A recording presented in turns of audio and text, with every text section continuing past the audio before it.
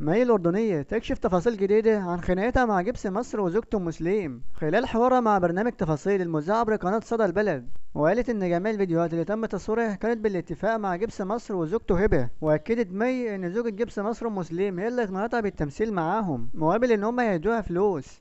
وقالت مي إن هي متغربة وعليها التزامات وكانت محتاجة الفلوس علشان كده وافقت. وأوضحت إن كل اللي عملوه كان تمثيل وهي ما اتجوزتش جبس مصر ولا حملت منه. والسبب الرئيسي ورا اللي عملوه كان الترند والفلوس. واللي خلى مي تطلع وتفضحهم إن أم سليم هزيتها في ال live بتاعها. موضوع ال live ده ما كانش متفق عليه.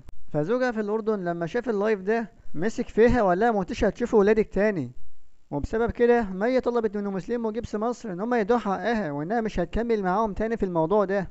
لكنهم قالوا لها يا تنهي اللي بدأتيه مالكيش جنيه عندنا.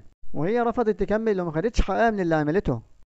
وبكده نكون وصلنا لنهاية الفيديو. وما تنساش تشترك في القناة وتفعل زر الجرس وتعمل like للفيديو. ليصلك كل جديد. والسلام عليكم ورحمة الله وبركاته.